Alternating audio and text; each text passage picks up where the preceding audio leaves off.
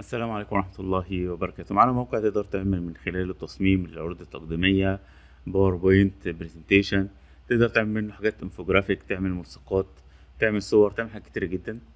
يعني مجرد إن أنت تيجي على create هتلاقي كمية حاجات كتيرة تقدر تعملها من خلال البرنامج.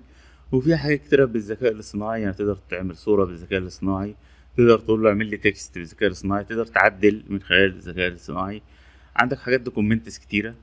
عندك حاجات خاصة بال chart حاجات خاصة بالانفوجرافيك كل ده في موقع واحد. يعني بدل ما تلف على مواقع كتيرة وتشتري مواقع كتيرة موقع واحد فيه الحاجات دي كلها والميزة إن هو فيه template لحاجات كتيرة جدا. يعني ممكن تبدأ من template بدل توفر وقت كتير بدل ما تبدأ من الصفر. طيب تعالى نشوف الموقع. أول ما دخلت بيقول أنت عايز تستخدمه في إيه؟ ف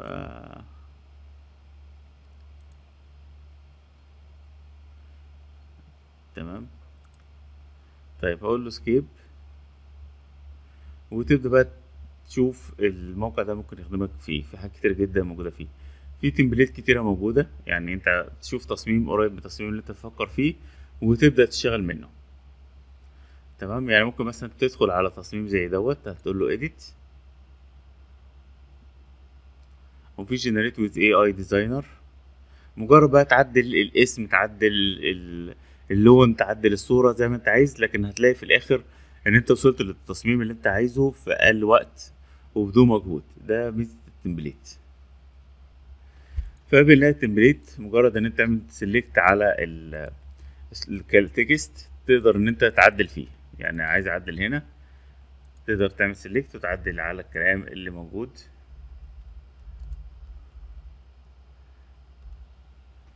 تعدل في الخط نفسه تكبره تصغره لونه كل ده تقدر تعدل فيه بسهولة جامد جدا. لو انت مش عارف تكتب إيه قول له AI writer فيقول لك انت عايز تكتب عن إيه ويبدأ ان هو يكتب لك المقالة اللي انت عايز تكتبها. تمام؟ فالذكاء الاصطناعي موجود معاك في كل حاجة كل التصميمات اللي انت عايزها تقدر انت تعملها. في graphics مثلا عايز ايقونة معينة تقدر ان انت تختار. وزي ما انت شايف في حاجات كتيرة ببلاش لكن ممكن تلاقي حاجات مرسوم عليها علامة معينة كده ان دي بفلوس. هو في ايقونات كتيرة جدا فلذلك أنا أختار حاجة وبعد كده أدخل تحتيها تلاقي حاجة تانية وهكذا لحد ما توصل اللي أنت عايزه. في فوتو صور.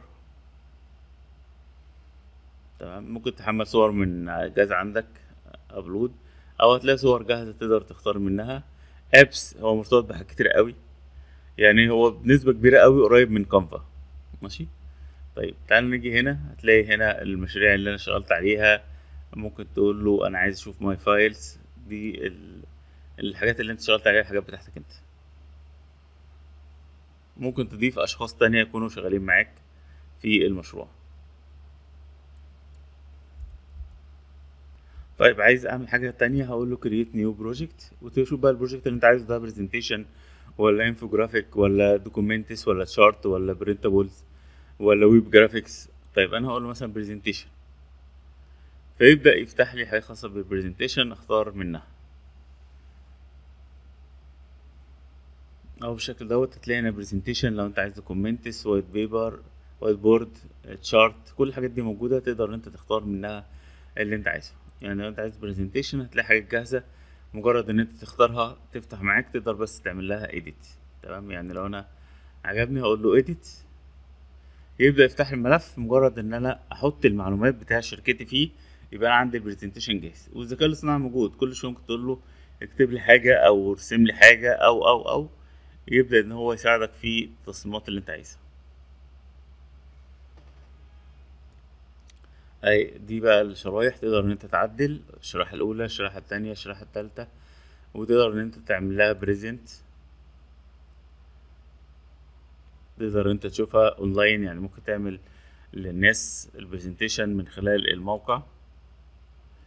طيب آه لو أنا عايز أعمل download للحاجة بعد ما عملتها هقول له download فممكن تحملها ك JPG أو PNG أو PDF أو فيديو أو print offline أو LMS طيب بعد كده أهم حاجة التكلفة كام؟ فلو جينا هنا هلاقي إن ال Basic zero بالدولار يعني أقدر أكمل عليها. unlimited project تمام؟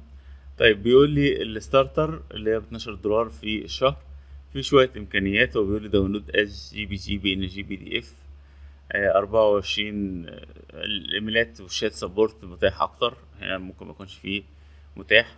وهنا ال pro بيديك إمكانيات أفضل.